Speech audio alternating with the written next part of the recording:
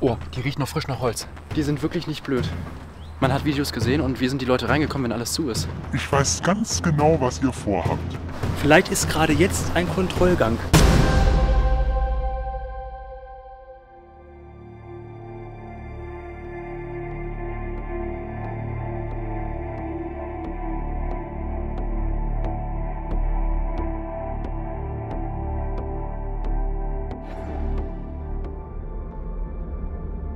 Hallo und herzlich willkommen zu einem neuen Lost Place Abenteuer auf meinem Kanal. Ich bin immer noch gemeinsam unterwegs mit Heiko, den ihr da vorne irgendwo im Bild rumlaufen seht. Wir stehen hier auf einem riesengroßen Klinikgelände. Ich war hier vor einigen Jahren schon mal, da war hier alles zu. Dementsprechend gibt es auf meinem Kanal noch kein Video davon. Und jetzt gerade stehen wir vor dem Haus, wo der ehemalige Eigentümer drin gelebt hat und wohl auch drinnen gestorben ist. Ich bin mal gespannt, was das hier heute wird. In dem Sinne auf jeden Fall viel Spaß mit dem Video. Wir sehen hier vorne auf jeden Fall ein Schild. Irgendwelche chinesischen oder japanischen Namen. Und da oben diese Überwachungskamera, wo wir uns nicht ganz so sicher sind, ob die aktiv ist oder ob das vielleicht auch eine Attrappe sein könnte. Wobei Lupus ist ein bekannter Hersteller. Ähm, das sieht nach echt aus. Ist die Frage, ob die noch sendet. Guck dir diese riesen Gebäude an hier. Aber der Weg sieht so aus, als wenn er schon lange nicht mehr befahren wurde. Oder betreten wurde. Hier vorne haben wir augenscheinlich eine Sporthalle. Und da irgendwie einen Seiteneingang. Auch wieder mit der Beschriftung, dieser Bereich wird videoüberwacht. Aber ich sehe hier nirgendwo eine Kamera. Das ist eine ganz merkwürdige Geschichte hier. Guckt euch das mal an, wie zugewachsen das hier alles ist. Ich glaube, hier hat schon Ewigkeiten keiner mehr Rasen gemäht. Die Halle hier vorne ist jedenfalls eine Schwimmhalle, so wie es aussieht. Man kann das Becken sehen. Soweit ich das sehen kann, aber ohne Wasser. Ach du Scheiße, ist das hier riesig.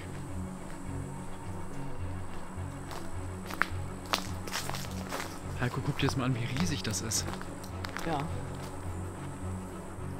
Und wie friedlich. So, es wird interessant. Hier vorne frische USB-Platten. Man sieht, irgendwann wurde das Fenster zerstört. Hier. Aber das sieht wirklich... Ja, es sieht frisch aus. Oh, die riecht noch frisch nach Holz. Die ist definitiv noch nicht lange hier dran. Das heißt, eventuell kümmert sich doch noch jemand um das Gelände. Da vorne auch eine komplett neue USB-Platte. Und sogar, guckt euch das an, man mag es kaum glauben, an den heilen Fenstern eine Latte, die von innen gegengeschraubt wurde. Also das ist definitiv frisch. Das ist definitiv frisch, genauso wie da vorne bei der Tür. Da hat man da unten die Scheibe aufgebrochen und jetzt ganz, ganz neu eine USB-Platte vorgesetzt. Das Interessante ist, man sieht hier vorne so einen Urbexer Trampelpfad und da vorne einen Stuhl, der da steht. Aber, auch wieder ganz interessant, da ist irgendwas vor dem Fenster. Oder wie seht ihr das? Ja, Fenster ist zu und es wurde irgendwas vorgeschraubt. Dort. Hier vorne haben wir noch so eine Art Glasgang. Und da vorne sieht man auch direkt alles verplattet, frisch verplattet. Also das ist wirklich bemerkenswert, wie frisch die USB-Platten sind. Hier vorne ist alles plattgetreten. Und auch alles zu. Selbst dahin, das kleine Fenster ist verplattet.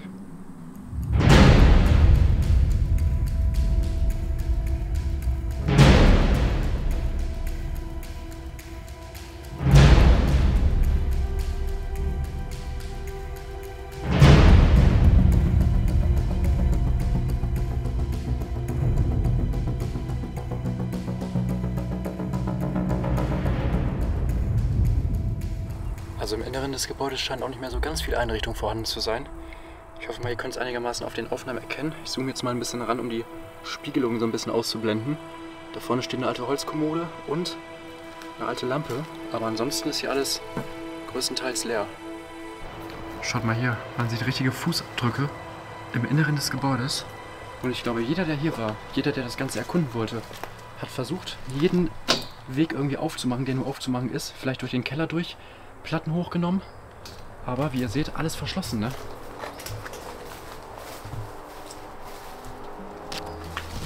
Hier hat man versucht, die Scheibe einzuschlagen. Aber Heiko hat da gerade was Interessantes gefunden. Und zwar ein offenes Fenster. Die Frage ist, ob es dahinter weitergeht. Die Frage ist, ob es dahinter weitergeht, korrekt. Die Tür könnte nämlich auch einfach abgeschlossen sein.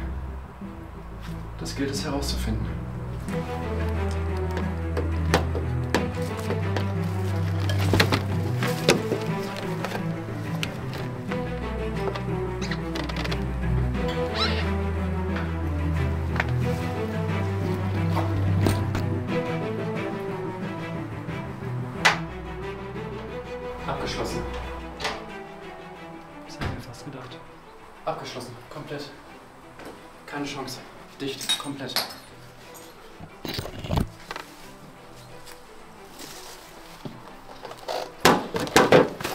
Die sind wirklich nicht blöd.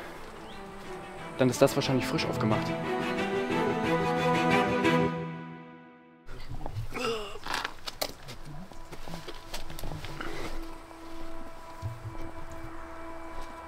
Es ist so merkwürdig hier alles.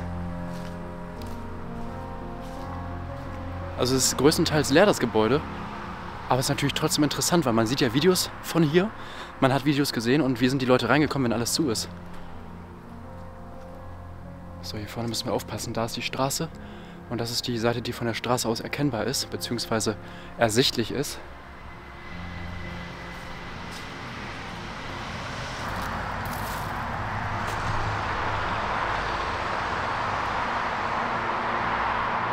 aber auch keine kaputten Scheiben. Das sieht teilweise noch aus wie neu. Guck mal das Geländer. Das sieht aus wie frisch dahin gebaut. Überall stehen diese Schilder. Achtung, Videoüberwachung. Aber irgendwie habe ich noch nicht eine einzige Videoüberwachung gesehen. Die natürlich auch logischerweise im Inneren hängen kann. Aber dann müsste man die ja wenigstens vom Eingangsbereich aus sehen. Und das tut man nicht. So, wir drehen jetzt die nächste Runde. Diesmal nicht links rum, sondern geradeaus und gucken nochmal auf der anderen Seite des Gebäudes, ob wir da vielleicht einen Eingang finden. Aber ich habe eben gerade schon zu Heiko gesagt, dadurch, dass das hier alles zu ist, kümmert sich auf jeden Fall jemand drum. Und jemand, der sich kümmert, kann ja durchaus auch einen Alarm drin gelegt haben, beziehungsweise einen Alarm irgendwie verteilt haben. Das heißt, wenn man durch spezielle Bereiche durchläuft, könnte ja so eine Art stiller Alarm ausgelöst werden. Ich weiß es nicht. Wir äh, eruieren das Ganze jetzt nochmal. Das ist alles ganz merkwürdig. Also es ist auf jeden Fall damals ein ziemlich schönes Gelände gewesen. Hier ist so ein kleiner Bach und ihr seht schon, das ist ein riesengroßes Gelände, denn hier geht so ein kleiner Weg weiter zu der nächsten Brücke. Das heißt, man kommt wahrscheinlich auch auf die andere Seite irgendwie rüber. Aber wir beiden wollen jetzt erstmal sehen, dass wir irgendwie ja, die Gebäuderückseite, also quasi das Gebäude von hinten einmal erkunden. Vielleicht ist dort noch was offen oder wir haben irgendwelche Hinweise, ja, die darauf schließen, was hier wirklich Phase ist, weil irgendwie taumeln wir momentan ja noch im Dunkeln. Das sieht so ranzig aus hier rechts, wie so alte DDR-Bauten irgendwie. So, hier vorne sind diese merkwürdigen Hütten. Oder besser gesagt, die Gebäudeverlängerung irgendwie. Scheiben sind hier auch eingeschlagen. Aber, wie man sehen kann, auch direkt verplattet worden. Da ist sogar richtig Eisen vorgesetzt.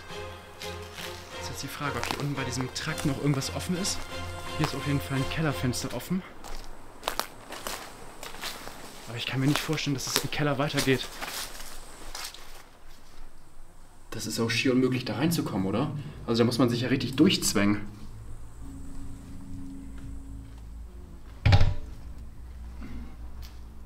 Da hinten ist aber auch Ende. Hä? Was ist das denn? Wie ist man denn hier reingekommen? Da hinten geht es nämlich definitiv nicht weiter. Ich vermute mal, dass irgendwie links da noch eine Tür sein muss. Warte, ansonsten äh, hast du keine Chance. Okay, alles klar, es macht Sinn die Tür ist in diesen Raum gegangen, weil sonst wäre man ja gar nicht in den Raum reingekommen. Also man kann sehen, der Flur ist komplett leer. Da vorne ist irgendwas Vorgestelltes. Es ist auch merkwürdig, aber guckt euch mal dieses Riesen, und ich kann es wirklich nochmal betonen, Riesen Klinikgelände an.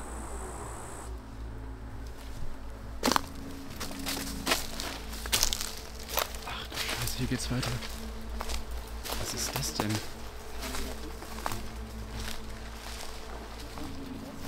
Heiko sagt's gerade, da unten das Fenster wurde kaputtgeschlagen. Und, naja, ich brauch's nicht sagen, ne? Auch eine USB-Platte davor. Genauso wie da vorne, bei dem Balkon, beziehungsweise unter dem Balkon. Auch alles komplett zugemacht und wirklich frisch zugemacht in unseren Augen.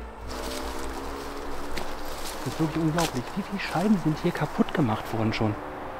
Also die gesamte Front hier hat man schon bearbeitet. Das ist wirklich unglaublich. Das ist also so bescheuert, ey.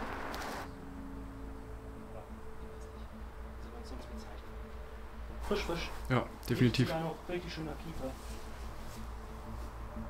Traurig, ganz, ganz traurig. Guck mal, selbst da vorne hat man so eine Holzlatte vorgeschraubt, dass du nicht durch das kaputte Fenster einsteigst. Ja, wahrscheinlich, weil es sonst aufgeht. Ja, Also kann man ja nicht anders sagen. Ich finde das krass. Das ist halt wirklich mal wieder so ein Härtefall, finde ich. Es, das ist wirklich so, ja, welches, welches Fenster nehmen wir denn mal, welches ist denn hier das Schönste? Ne? Hier da, da müssen wir vielleicht über die Balkonbrüste übersteigen. Ach nee, wir nehmen gleich hier den, den Eingang. Ist doch viel einfacher. Zack, einen Stein genommen, was weiß ich woher. Vielleicht einen Tannenzapfen mit besonders viel Wucht, das reicht vielleicht auch aus. Also, ich glaube, wir sind gleich rum. Das ist doch, das ist doch nicht normal. Vor allem guckt euch mal diese fetten Schrauben an. Die sind ja von innen reingedreht. Und man sieht vielleicht ganz gut, die Platten sind älter, die ein bisschen dunkler sind. Und das hier vorne, das ist definitiv frisch. Denn auch das riecht noch richtig nach Kiefer.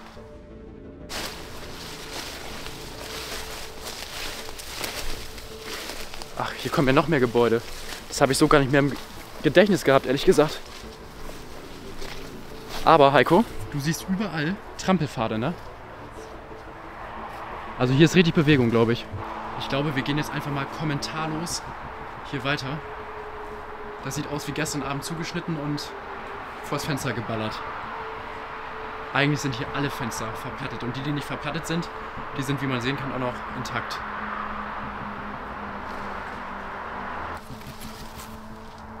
Jetzt stehen wir vor dem Haupteingang. Bereich wird Video überwacht. Aber wo wird denn Video überwacht? Ich sehe hier nichts. Weder drin noch draußen. Oder seht ihr hier eine Kamera? Achso, hier sind die einzelnen Klingelschilder. Strom scheint aber auch nicht mehr zu funktionieren. Also ich glaube, Heiko, hier kümmert sich jemand. Ja, da bin ich mir ganz sicher.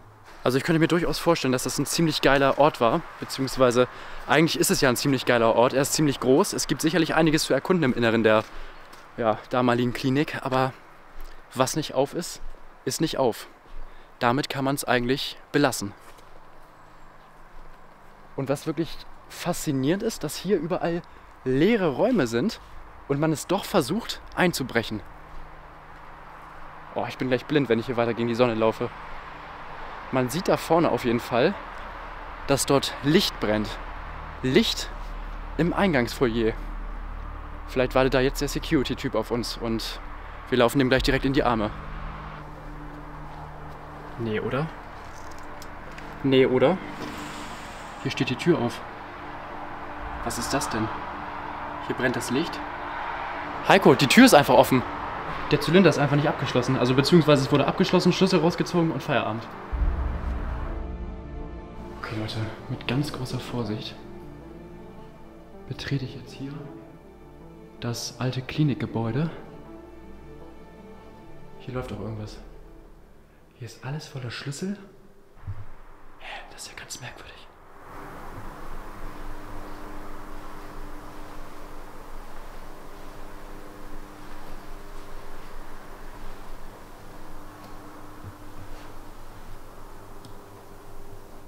Ich glaube auch da ist jemand. Da oben läuft, glaube ich, jemand.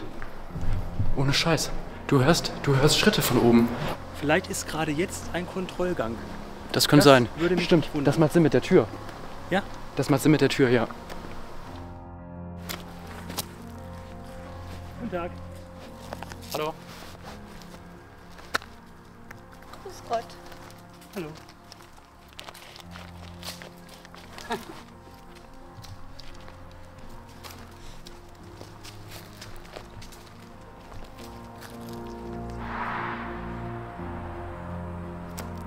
Erst kamen die Schritte, ne? wir in den Schockstarre-Modus verfallen, im Sinne von unschuldig tun. Sie kam, ich habe sie auf Augenkontakt hergestellt, habe Guten Tag gesagt, sie hat Guten Tag gesagt, dann ging sie weiter, sie war ungefähr hier dann. Dann hat sie plötzlich so ein, so ein Zucken im Gesicht gehabt, so, so ein Grinsen, ne? Und hat auch die ganze Zeit auf uns drauf gestarrt. Sie hat Genau. uns durchlöchert mit ihrem Blick. Ja, genau. Sie hat mich durchlöchert, sie hat dich durchlöchert und dann hat sie nochmal Hallo gesagt. Und ich dann nochmal Hallo. Dann ist sie weitergegangen und sie stand dann ungefähr da vorne beim Schild, hat sich dann nochmal umgedreht und dann hatte sie nochmal ein Gesicht drauf. Also, das war jetzt nicht ein Negativding, wie eine Hexe. Wie, wie so ein Ding, wie, wie.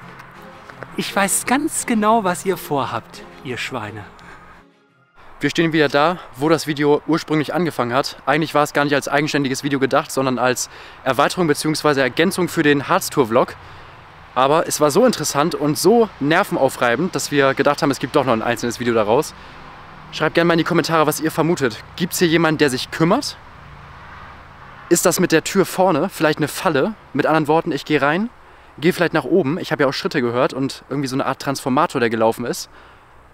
Ich habe schon zu Heiko gesagt, ich wäre da durchaus alleine reingegangen, aber ich habe so ein bisschen Angst, dass da irgendjemand auf mich wartet, der es vielleicht nicht so lieb mit mir meint und vielleicht auch gar nicht das versteht, was ich ihm sage.